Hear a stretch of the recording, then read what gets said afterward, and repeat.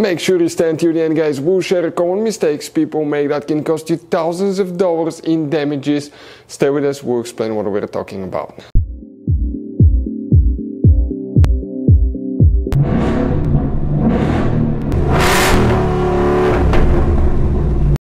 Hey guys, welcome back to Free Car Repair. Thank you guys for watching and subscribing to the channel. Today will be super helpful video to any of you guys having a Ford Escape, this generation here from year 2013 to year 2019. If you have one of those, if you need to find where the fuse for the for front passenger seat is located, which fuse controls it if it doesn't work, where you can buy cheap parts, tools, fuses, relays at a good price, quick shipping, that way you do not waste your money and time and why it's important to always test fuses and relays. All that will be covered absolutely free for your convenience. Make sure you stay until the end. So before we start, let us tell a little bit about us guys. If you have that generation Ford Escape from year 2013 to 2019, this specifically is pre-facelifted version, this is the facelifted version. There will be some minor differences, we'll talk about that, but we'll make a video about every single possible fuse, relay, why we do that.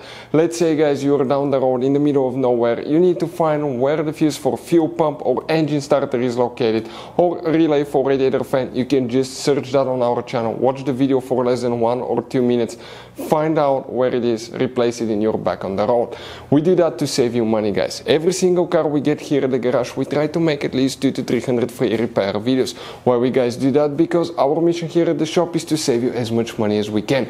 And we guys have more than 12,000 free repair videos on our YouTube channels as well that can save you more than thousands of dollars in future repairs.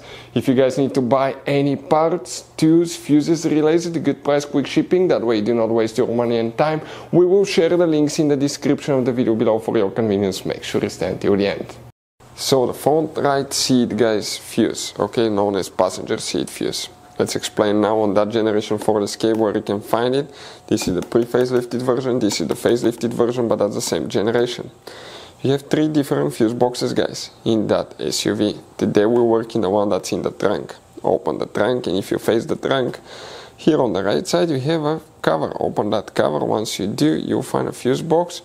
Okay, with a layout that will look just like this one right here. Before we continue, let's explain quickly why it's always a good idea to test fuses and relays.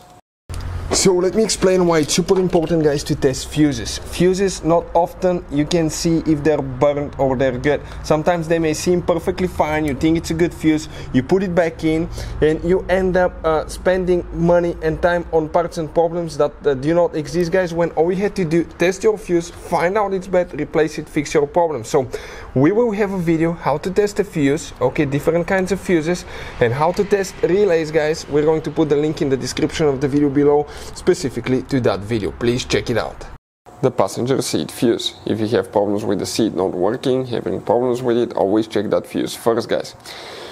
So if you come in this row, this is fuse 1 through 16. In that row, that's where we will be working. And coming here, we're going to start counting 1, 2, 3, 4, 5, 6, 7, 8. Even if you have an empty spot, you count it. That 25 amp fuse, that's the one for the front passenger seat that you need to check. If you guys have any questions, don't hesitate to let us know. Thank you for watching. See you next time.